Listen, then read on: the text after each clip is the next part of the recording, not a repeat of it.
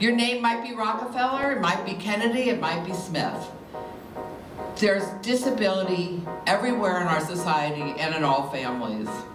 Since only 15% of disabled Americans are actually born with disabilities, disability can happen at any age. I'm proud to say that our world-class arts community, our social service organizations, are all uniting around this festival to welcome a diverse array of stars and filmmakers to our community. Why is it so important that people with disabilities are included? It's important because that kind of a character, that kind of an energy, that kind of a spirit benefits the community, makes it stronger, allows it to reach for things that it otherwise would not have thought possible to obtain. Disabled people do not want to be pitied. They want to live their lives as human beings in our society.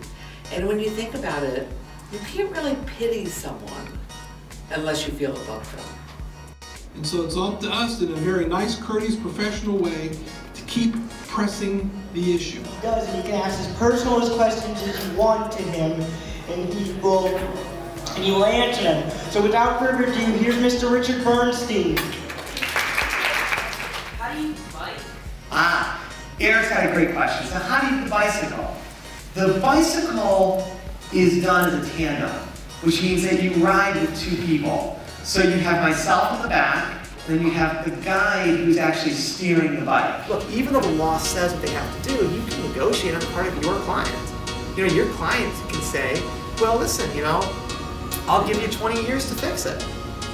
But in exchange, you're gonna do one, two, three, four, five, six, seven, eight, nine, ten things. Is that when you're blind, you can only dream what you experience during the day.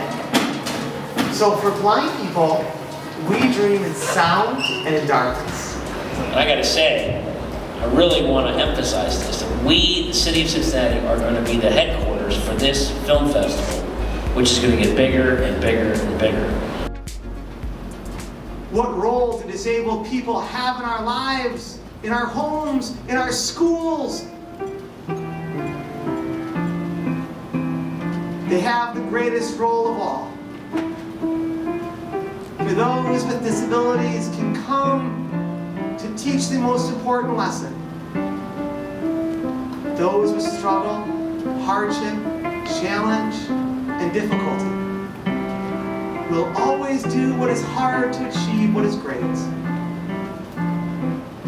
Because those with struggle, those with infirmities, those who you see as being vulnerable or weak, have a hunger,